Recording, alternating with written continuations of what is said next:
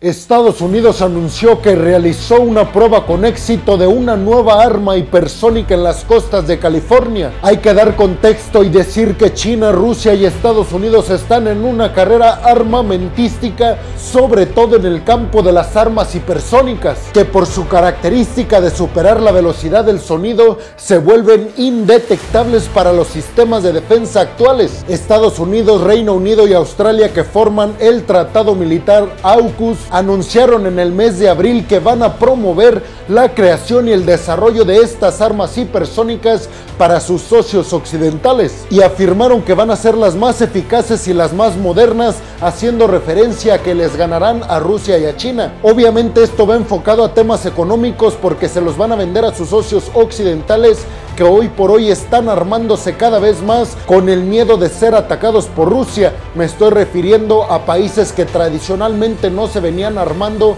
como Alemania y algunos otros países europeos. Estados Unidos ya había probado con éxito un arma hipersónica hace algunos meses y aunque no se tienen características específicas de qué arma específicamente probó Estados Unidos, únicamente se sabe que fue hipersónica y pone en el mapa Estados Unidos en este rublo contra China y Rusia porque recordemos China y Rusia ya las han probado desde hace años y se decía en el contexto militar internacional que Estados Unidos iba detrás de China y de Rusia por unos 20 años aproximadamente. Sin embargo, el Pentágono se pronunció al respecto desde hace algunos meses cuando se probó la primera arma hipersónica de la cual les platiqué ya anteriormente y anunciaron desde el Pentágono que no habían dicho que Estados Unidos ya tenía estas armas para no acrecentar las tensiones en el este de Europa y entre Rusia y Estados Unidos, esto antes de que se diera la invasión entre Rusia y Ucrania. Pero tú qué piensas, ¿quién crees que gane en esta carrera armamentística?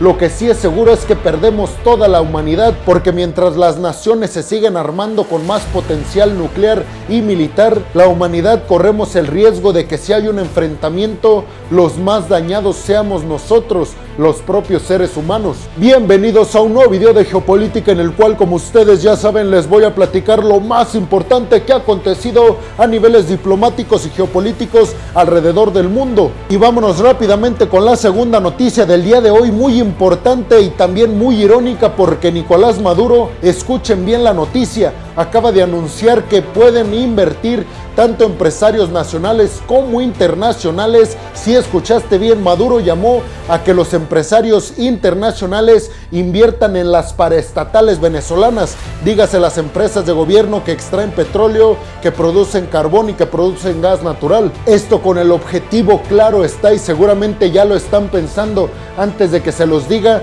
para llenar todo el mercado occidental que dejó Rusia a raíz de las sanciones occidentales. Estas acciones de las paraestatales en Venezuela se ofertarán en la bolsa de valores del propio país de Venezuela y se espera ya que empresas petroleras estadounidenses sean quienes tengan mayores inversiones en estas paraestatales venezolanas. Desde hace ya tiempo, esto no es nuevo, eso hay que aclararlo y decirlo. Maduro ya ha venido cambiando ciertas políticas del régimen chavista, es decir, ya se ha transformado y aunque no completamente a un sistema abierto a libre mercado y totalmente capitalista, sí ha venido implementando políticas de este sistema, de liberal capitalista, sobre todo incentivando la inversión de capital privado. El problema obviamente que ha tenido Nicolás Maduro para que inversionistas con alto poder adquisitivo a niveles internacionales invierte en Venezuela, pues es que no le tienen confianza a Venezuela porque dicen ellos invierten cierta cantidad de dinero y antes de que puedan recuperar u obtener ganancias, Nicolás Maduro, como ya es sabido, puede simplemente decir que va a nacionalizar todas esas inversiones por eso el miedo de los empresarios. Sin embargo, parece ser que hoy en día tiene el amparo y el apoyo de la potencia estadounidense. Y es que después de la invasión de Rusia a Ucrania y que después se dieron todas las sanciones occidentales para con Rusia, yo les di la noticia y quienes ya me siguen desde hace tiempo seguramente se acordarán que yo les mencioné que una comitiva de diplomáticos estadounidense, de altos diplomáticos además, visitaron a Venezuela para reunirse cara a cara con Nicolás Maduro y decirle a Venezuela que podría ser una oportunidad para que ellos acapararan todo el mercado de energéticos había dejado Rusia en Occidente a partir de estas sanciones que impuso no solamente Estados Unidos, sino Canadá, Reino Unido, Australia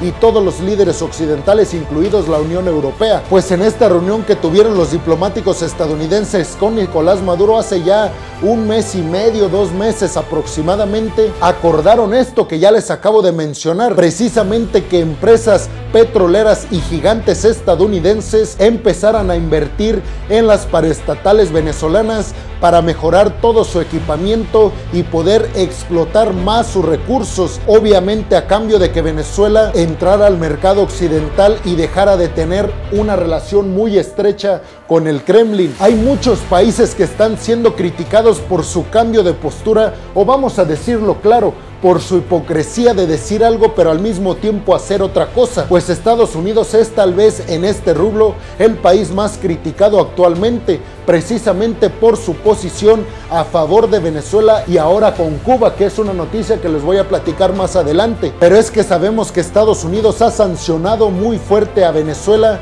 precisamente por los derechos humanos, por el sistema democrático que no existe en el país de Venezuela y otras cuestiones que van con temas sociales, culturales y de derechos humanos. Pero parece ser que cuando se trata de petróleo, de gas y de carbón, esto deja de importarle a la potencia estadounidense. Eso es lo que se le critica, la doble moral de tener sanciones contra Venezuela, pero cuando se ocupa económicamente, entonces parece que ya no importa tanto. Sin embargo, yo ya les he reiterado en muchas ocasiones que la geopolítica no tiene intereses ni buenos ni malos, únicamente intereses y las potencias y en general todos los países en el mundo buscan tres cosas, o mejorar económicamente, o entrar a los países más ricos, o hacerse de la hegemonía mundial, cada uno a sus posibilidades. Y pase lo que pase, buscarán hacer realidad esos objetivos sin importar que hagan tratos con dictaduras. Y en la siguiente noticia del día de hoy comenzaron unos ejercicios a gran escala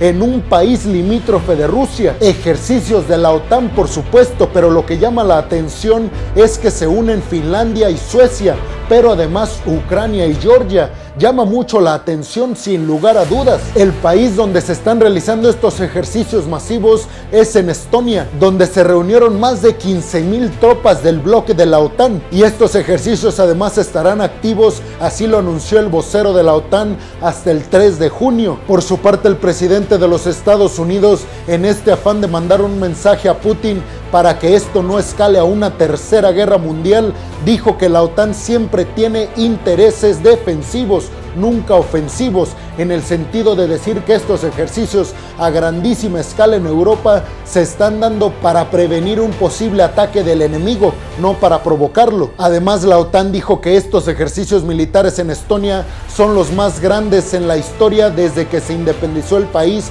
en 1991 con la disolución de la Unión Soviética. Y en la cuarta noticia del día de hoy, el presidente de los Estados Unidos, Joe Biden, anunció que se van a activar distintos vuelos desde las ciudades más importantes de los Estados Unidos hacia La Habana. Y además anunció que se suspende el tope que se le habían puesto a todas las remesas para ser enviadas desde Estados Unidos con ciudadanos cubanos hacia Cuba, con un tope que tenía de mil dólares cada tres meses. Hoy en día eso también se eliminó. Joe Biden dijo que esta medida tiene como objetivo no solamente aliviar las tensiones entre Estados Unidos y Cuba, sino también de hacerle un bien a toda la población cubana que necesitan hoy más que nunca la entrada de remesas estadounidenses que obviamente como ustedes lo están sospechando, es el principal ingreso del país. Aunque Cuba agradeció el gesto que tiene Estados Unidos reactivando los vuelos estadounidenses a Cuba y además levantando el tope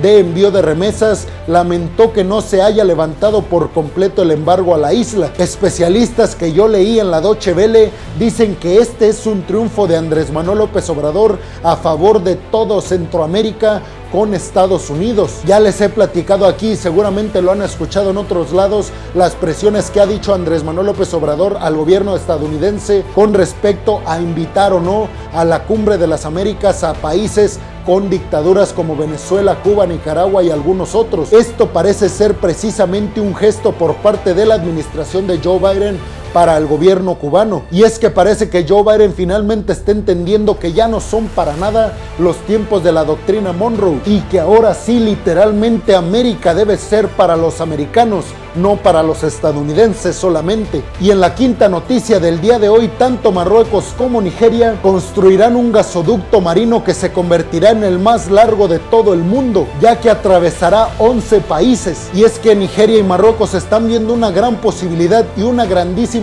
oportunidad para llenar el mercado europeo de gas natural que hoy en día está buscando las opciones que existan en el mercado para deshacerse del gas natural ruso. Worley, la empresa australiana estadounidense, fue la que se quedó con la adjudicación y ganó el contrato para construir este gasoducto. Y han anunciado desde Marruecos y desde Nigeria que este gasoducto, además obviamente de darle beneficios a estos dos países que van a ser los que lo van a construir, también dará un montón de empleos a todos los países por los cuales atraviese este gasoducto y que obviamente beneficiará a la Unión Europea para deshacerse por completo y rápidamente de la influencia del oso ruso con su gas natural en todos los países del bloque europeo. Y en la última noticia del día de hoy, Estados Unidos y China tienen un nuevo enfrentamiento por la isla de Taiwán. Y es que China se posicionó muy en contra de la postura de Estados Unidos de ayudar a Taiwán